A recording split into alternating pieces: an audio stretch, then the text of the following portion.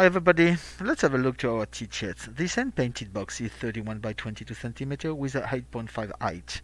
Inside compartments may be black acrylic for food, black paint in case you want to make your own customization or covered with glass for your jewelry.